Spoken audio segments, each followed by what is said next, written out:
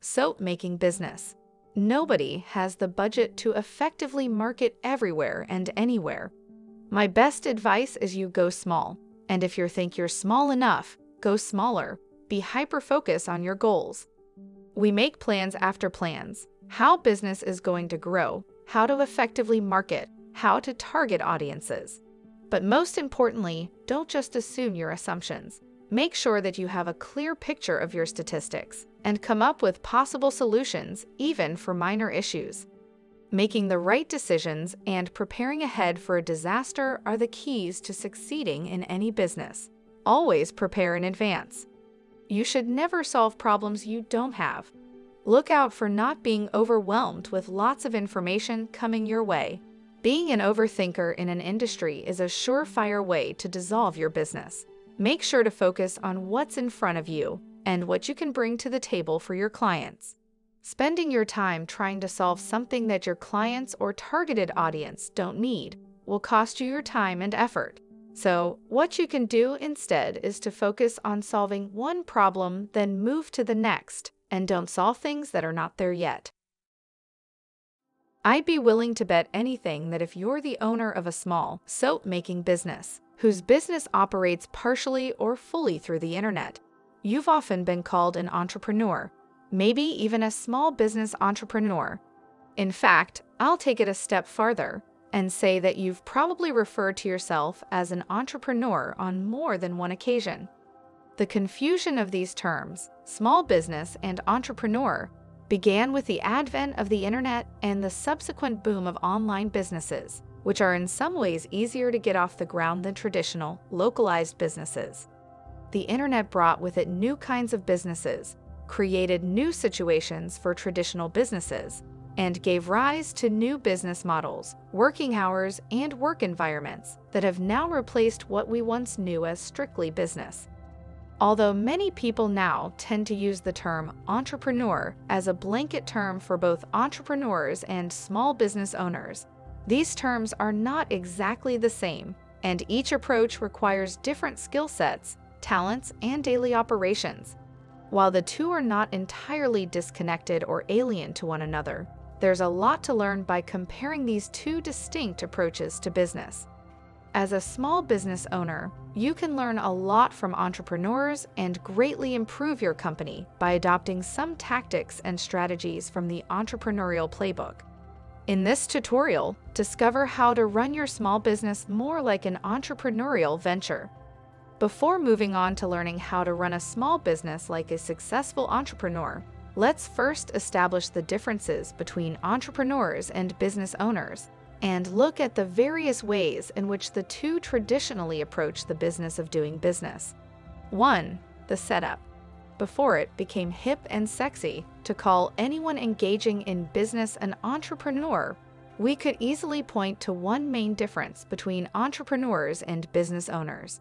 Business owners, as the name suggests, owned their businesses usually for life, while entrepreneurs set up businesses with the intention to sell them, holding onto them only for a brief period of time. Entrepreneurs have also traditionally funded their business not with their own money, as most small business owners do, but by using venture capital they raised from investors that were interested in the business idea the entrepreneur conceived. 2. Risks and finances. Both entrepreneurs and business owners will at some point need to take financial risks to grow their businesses, but traditional business owners tend to show greater reluctance in taking big risks. Small business owners start their businesses small and grow them slowly as needed through steady work. That's because the end goal of a business owner is to build a business that's profitable enough to provide his living and stable enough to last him a lifetime. Entrepreneurs, on the contrary, set up bigger businesses to begin with and look to grow them quickly by taking greater risks to do so. That's because an entrepreneur's end goal is to sell the business as quickly as possible at the highest valuation possible. And that means growing a large business with great profit potential to attract potential buyers. 3. Hiring process.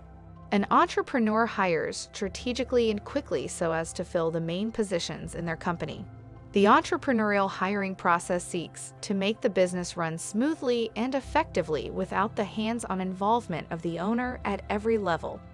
A business owner, by contrast, takes a different view to personnel hiring, usually being slower with bringing on new hires. Most business owners tend to be the key expert in their businesses, building new positions around their needs and weaknesses.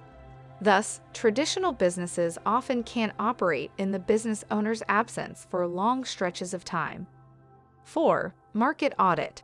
Since entrepreneurs start businesses specifically to fill a need they have identified in the market, and not necessarily because of a passion they might have for a particular product or cause, they learn to evaluate the market and its needs at frequent intervals.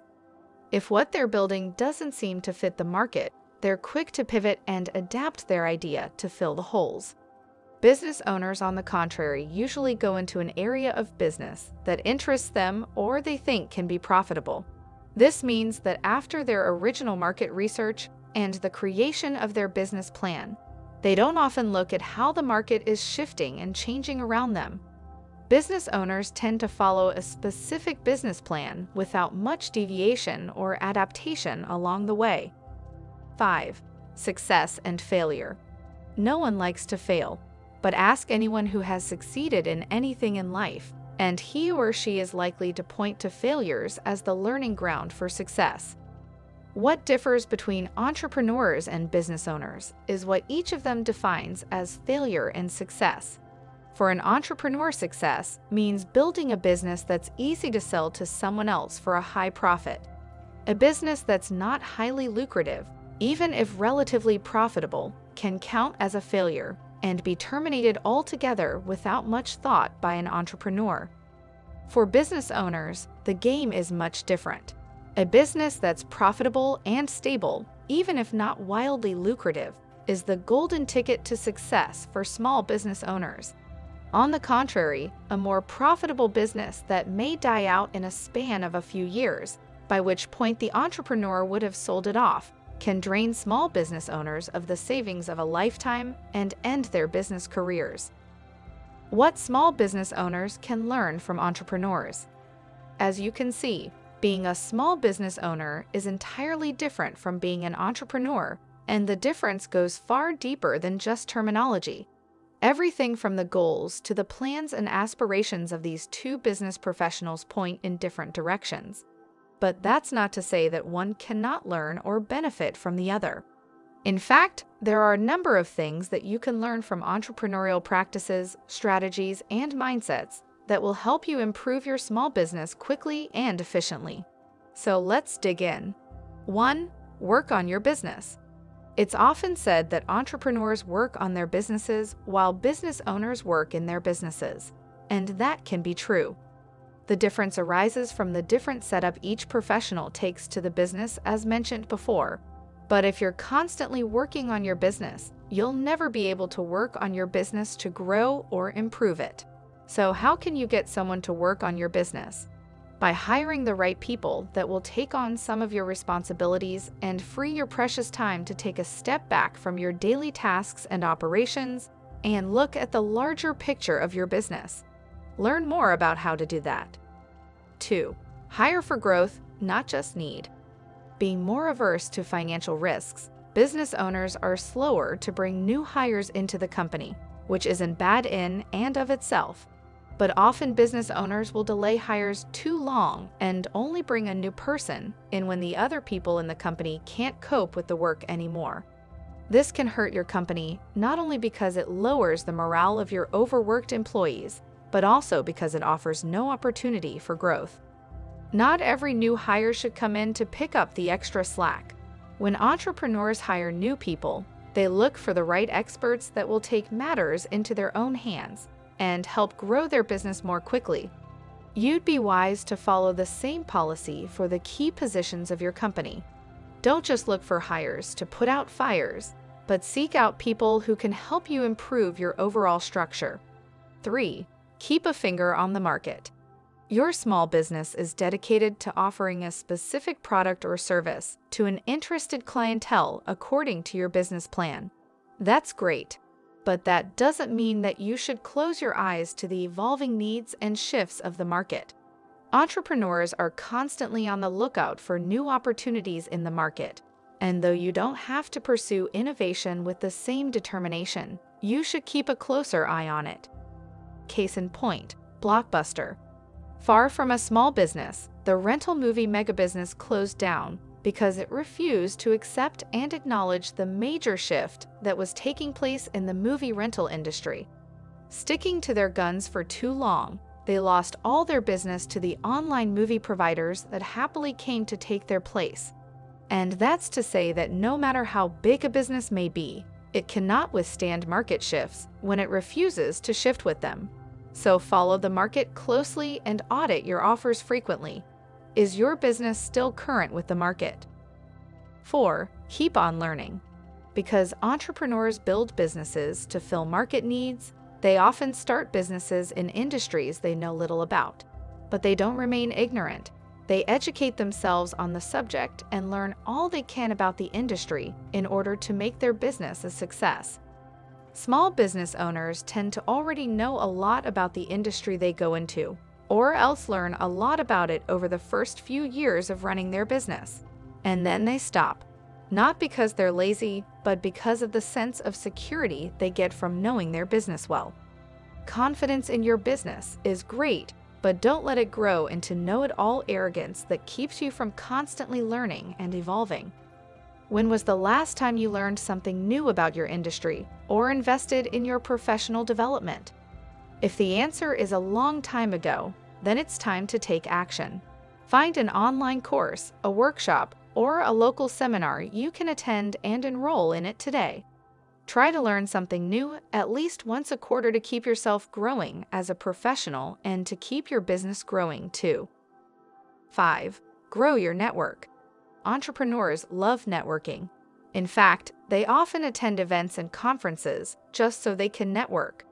Meeting new people means learning about or creating new opportunities, and one can never know where the next investor or business venture may come from. Business owners have a lot to gain from networking and making new connections as well. When you attend an event or conference, you may meet someone from a related field who has an idea for a partnership. You may meet an expert who can help you grow your business, or you may even meet people who can refer new clients to your business. Networking shouldn't always have a specific end goal, as you can never know who you're going to meet next. But growing your network of professional contacts can always benefit your company. Learn more about small business networking. 6. Keep up with technology. Technology changes daily, and entrepreneurs play a big role in these developments, as they're often the ones behind the businesses that promote these innovations.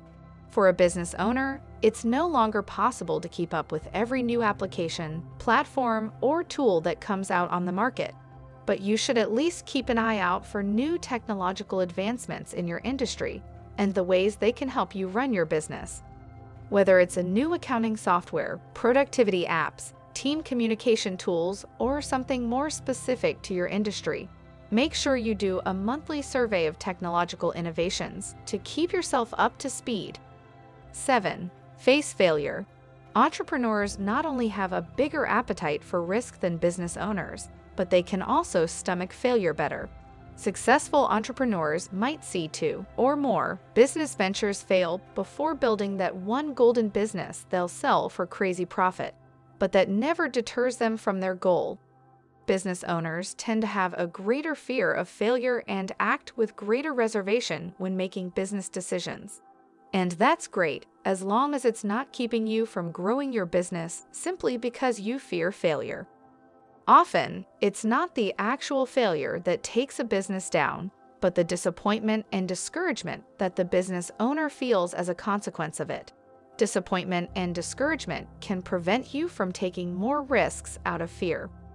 It's better to accept early on that, in order to achieve something better and bigger than what you currently have, You'll have to learn a few new things from a couple of failed attempts. Take a deep breath and dare to try even if you fail. Remember that success comes from failure. 8. Take calculated risks. This goes parse and parcel with learning to face failure with a straight face. In order to fail at something, you first need to try, and trying something new can seem risky in business. As a business owner, you will want to take as many risks as an entrepreneur, but if you want your business to grow, you're going to have to learn to take a few calculated and well thought out risks, because it's the risks that bring on the rewards as well. 9. Act as if you're going to sell. Business owners rarely think of selling their businesses. They're in the long term game of running a business and not in the short term entrepreneurial game of setting up a business in order to sell them. But thinking like an entrepreneur every now and again and looking at your business as if you're going to sell it can give you a new perspective that will help you improve your company. Are your processes efficient? Are all your procedures clear and easy to understand? If a prospective buyer were to take a look at your business today, would its structure and functionality make sense? How do you set and measure success? Looking at your company the way an outsider would evaluate its worth can help you improve the overall structure of your company and clean up inefficient processes and procedures that you may now have in place. How can you act more like an entrepreneur in your small soap making business? Being an entrepreneur is very different from being a business owner, and each role requires a different set of skills and talents. But that doesn't mean that one business person cannot learn from the other. As a small business owner, you don't want to run your company exactly like an entrepreneur, but your business can greatly benefit if you learn to copy a few moves from the entrepreneurial playbook that you can apply to your small business. Learn more strategies for becoming a successful small business owner. In what way do you run your small business as an entrepreneur? What are some ways you can improve your business by taking a more entrepreneurial outlook to it?